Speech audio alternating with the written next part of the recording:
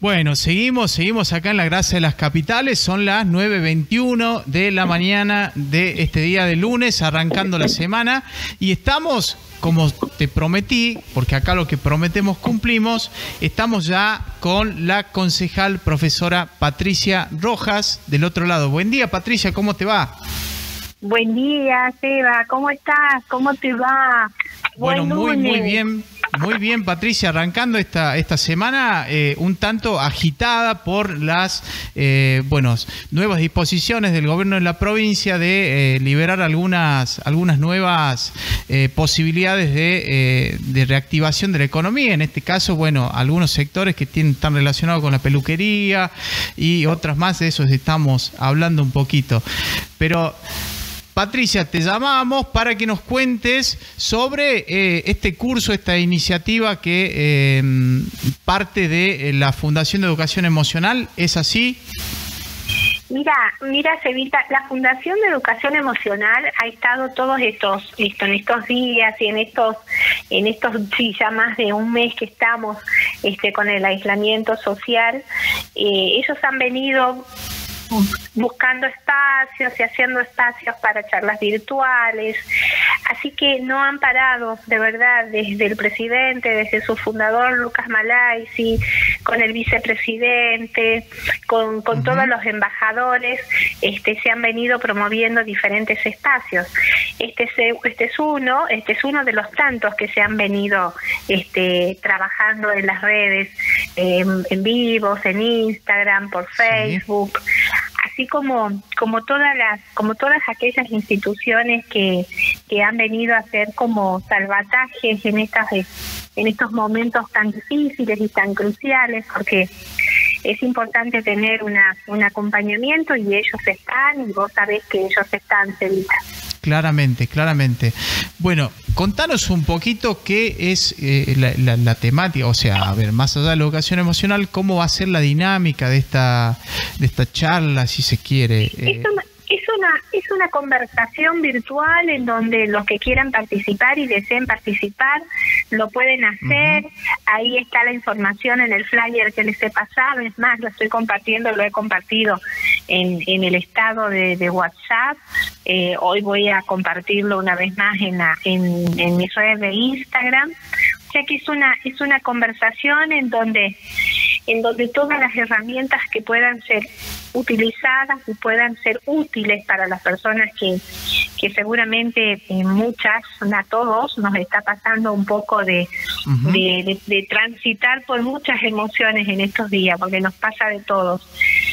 Pasamos de la alegría al llanto y, y, está bien que así sea porque porque porque la situación está para esto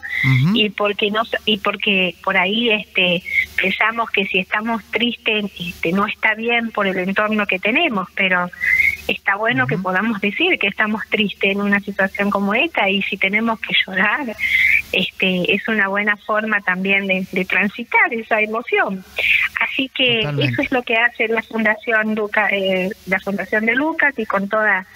y con toda la gente que, que, acompaña, e inclusive este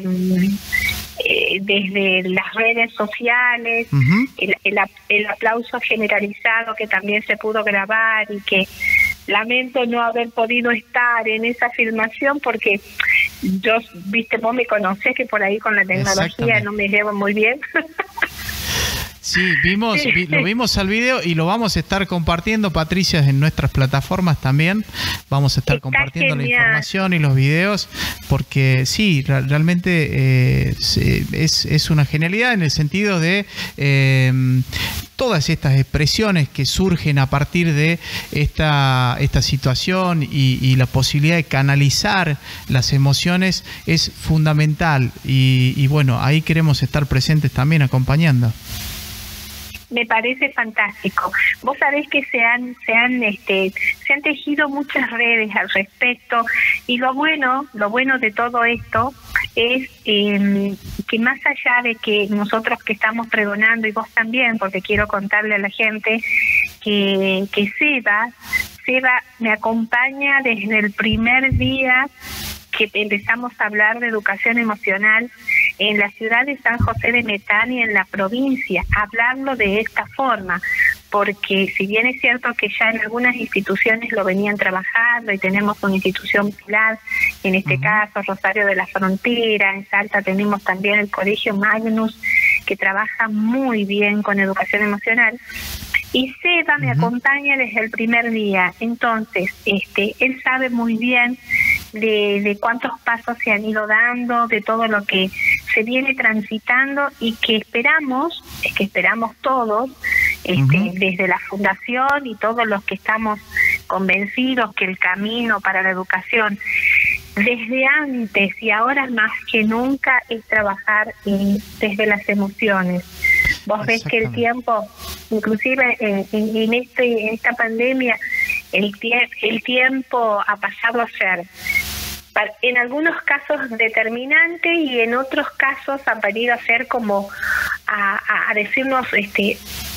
a ponernos un parate en muchas cosas. Entonces está más que claro que, que la proyección y, y las expectativas puestas en educación emocional tiene que ser a partir de ahora y en un futuro esté tenida en cuenta por las autoridades para que ya se incluyan en las políticas socioeducativas. Y contarte, Seba, también, y contarte, Seba, también, que antes que sucediera lo esto que, que, que no nos gusta a nadie, pero que bueno, hoy es un habrá que preguntarse por qué. Lo bueno es que hemos sido en algunos puntos, hemos sido educados, en otros todavía nos falta este, cumplir con las normas que se nos piden, cumplir con las reglas que se nos piden, esto del aislamiento. Antes de que pasara esto, eh, nosotros, el, el, nivel inicial del sur de la provincia,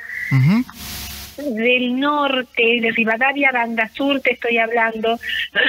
del departamento Metán y del departamento Rosario de la Frontera, tuvimos una reunión con nuestra supervisora de zona. Y, y en ese en esa reunión a mí me ha dado mucha alegría porque eh, esta autoridad, nuestra supervisora Silvina Livio, está muy abierta a trabajar con educación emocional en los en el nivel inicial. Tanto es así que se nos ha pedido, se nos había pedido, e inclusive ahí también tuve la oportunidad de, de poder este, exponer en un PAO, en unas reflexiones para la docente, para la directora, más que nada eh, se nos ha pedido para que podamos ya comenzar a planificar, poder incluir en nuestras planificaciones herramientas de educación emocional. Así que ya para el nivel para el nivel inicial es un paso importantísimo. Totalmente, totalmente, coincido totalmente y eh, ojalá, ojalá que, bueno, hay todo un proceso de, de a ver, eh, yo creo que va a haber una reestructuración en cuanto a la manera de eh, ver la educación o de eh, educar de ahora en más, según lo que escuchábamos hablar al ministro Nicolás Trota, se está planteando nuevas modalidades y nuevas formas, encarar algunas cuestiones que hoy por hoy se vieron un tanto flojas ante esta situación en particular, ¿no? Así que bueno, yo creo que es una buena alternativa para hablar también de educación emocional, ¿no? Totalmente, y e inclusive para una herramienta tan importante, Seba, para que uno pueda conocer, mira, mira inclusive en esta situación cómo este, se nos ha puesto de frente en, en tantas situaciones, en las posibilidades y en las en las posibilidades y en las limitaciones, porque porque aquel que aquel que, que depositaba en la familia, que dejaba este, la, en la escuela la responsabilidad, hoy siente que es es al revés, viste la situación, la escuela se ha convertido, la familia se ha convertido en este espacio de enseñanza, por supuesto que no no sistematizada, pero este como ahora vamos a tener que repensar tanto que, que lo único que va a ser importante es que cada uno de nosotros este conozca dentro de sus posibilidades, por sobre todo más que las limitaciones, este conocer sus posibilidades foco en esas posibilidades y trabajar en ello. Viste, Lucas nos dice también, en toda su en todo su pedido y en los, en los libros que escribe no hay mejor cosa que uno este cuando hace lo que hace lo tiene que hacer desde el lugar de la de haber elegido lo que le gusta y cuando uno hace lo que le gusta este el trabajo se nota, eh, se pone pasión en eso, eh, somos creativos ante eso, porque inclusive hoy todos somos creativos, hasta para utilizar una herramienta tecnológica, hasta mm, hasta para poder transformar en una actividad una una, una, una propuesta de, de, trabajo en donde la casa se recrea, porque los recursos no son los mismos los que están en la escuela, eh, se recrean los tiempos, se recrean el con quién me acompaño a la hora a la hora de trabajar, no como por ahí en la escuela, bueno, vos te sentás acá y te vas a sentar con él. En la casa, en la casa nos vamos a organizar para ver con quién en esos momentos voy a poder hacer la tarea. Son muchas cosas, Eva, la verdad son muchas cosas. Yo confío confío y deseo y deseo profundamente que cuando volvamos a trabajar no seamos los mismos, porque si somos los mismos, señal de que esto no nos ha enseñado nada. Exactamente. Este, que no seamos los mismos y que de verdad no seamos los mismos ni para nosotros y por supuesto que no vamos a querer ser los mismos para los demás y que en el ser distinto este eh, pensemos pensemos en que en que debemos hacer muchas reflexiones y muchos cambios a partir de todo esto. Tal cual, Patricia, tal cual. Bueno, Patricia, sabemos que estás eh, a punto de eh, entrar al Consejo Deliberante. Sabemos eh, lo, que te queremos preguntar es si hay algún tratamiento, alguna cuestión en particular que se va a tratar en el Consejo. Mira, Seba, hoy teníamos planificada una reunión. eh, la temática seguramente va a ser con todas estas excepciones que van a salir o que ya han salido, perdón, este, seguramente para hacerla extensiva a, al COE, así que para que ellos sean este, quienes habiliten la herramienta para que esas excepciones también sean puestas acá en Metán. Así que seguramente esa, ese va a ser el tratamiento uno y el otro, eh, no menos importante, que quedó ya de la, de la sesión extraordinaria de la semana pasada, es planificar el cómo vamos a volver y que seguramente con sesiones ordinarias, pero con limitaciones del personal, porque eh, hay espacios en los que son reducidos. Si bien la sala de sesiones amplia, podemos nosotros los concejales estar con el distanciamiento este solicitado, pero el resto en los bloques, por ejemplo, hay que limitar al personal aún porque eh, son son muchos y ahí sí estaríamos un poco en contramano de lo que se nos está pidiendo. Así que seguramente eso también va a ser motivo de, de tratamiento ahora para ya después este, decirles e informarles seguramente a ustedes eh, si vamos a volver a sesionar de manera ordinaria, bueno, ya van a estar al tanto.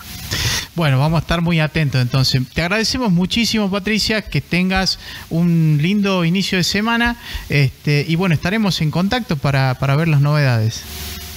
Seguramente, así va a ser. Te deseo a vos y a toda tu,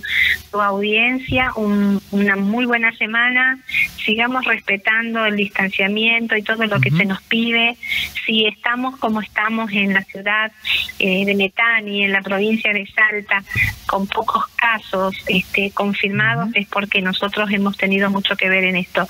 Así que Dios quiera falte menos y el tiempo que falte va a ser y va a depender exclusivamente de, de, nosotros en muchas cuestiones, así que sigamos siendo respetuosos de eso y bueno, muy buena semana para todos.